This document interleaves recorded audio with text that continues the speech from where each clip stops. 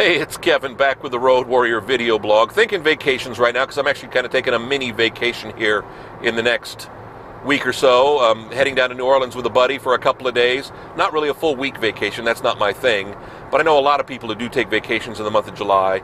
They kind of wrap it around 4th of July because you get, well, you, you get to take a day off without having to claim a, a vacation day, so you get to save one of, the, one of those vacation days. But also, too, both my brother in law and sister in law are teachers.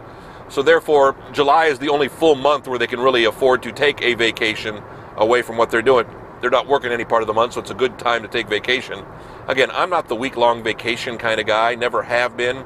It's not something I grew up with. In my entire life, you know, the 18 years or 17 years or whatever the number was, I lived with my parents.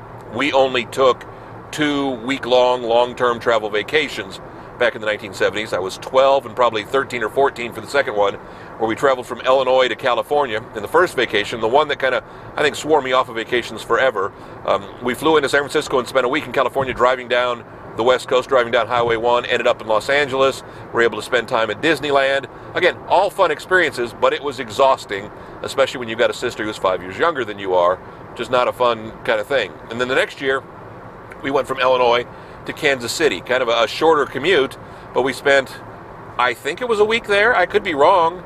Um, and went to Kansas City, went to their Worlds of Fun, went to some other stuff. I mean, it may not have even been a week. It may just have been a vacation.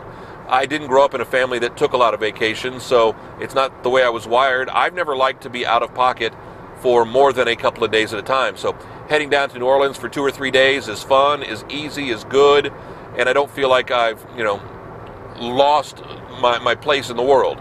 I don't feel like my, my business is too far behind. I don't feel like, you know, I, I always spent too much time going into vacations trying to catch up on work and then leaving vacations and, and kind of trying to catch up. And again, some, different strokes for different folks. I know a lot of people who are vacation people, but give me a long weekend or give me a three or four day, you know, kind of short road trip. I guess I'm more the road trip guy than I am the vacation guy. Everybody's a little bit different. Back next week with another road warrior after my vacation or road trip or whatever the heck you want to call it. Um, you can always find us, of course, kevinmason.us, the website, or wherever you're watching right now. Again, whether it's the website, whether it's on Facebook, whether it's on YouTube. Again, I don't care where you're watching. I just hope you come back. It's that simple.